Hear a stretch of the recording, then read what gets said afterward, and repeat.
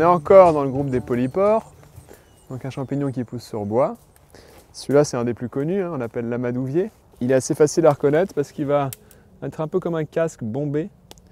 Il est très dur et euh, fait partie des champignons, pas comestibles, ça c'est sûr, mais qu'on utilise notamment pour faire du feu.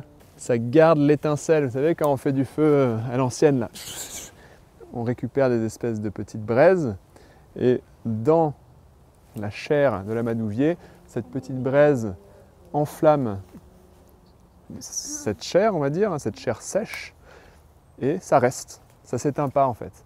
Donc c'est un moyen de garder le feu. C'était un moyen à l'époque, et encore aujourd'hui si on veut faire l'expérience, de garder le feu longtemps. Parce que ça reste, ça reste, ça brûle, ça brûle, ça ne s'éteint pas.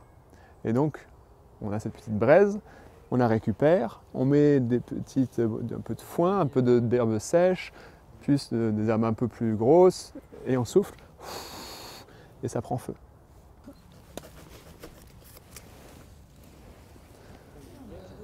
Ouais, c'est comme du liège. cette partie-là, voilà. Je sais pas à quoi le comparer. Avec quoi le comparer euh. Si les, si, les allumes-feu. En fait, c'est de la fibre tellement dense que. Je sais pas si vous avez déjà vu ça, ils vendent des allumes-feu, on le brûle on le met dans le feu et ça. Ça attise.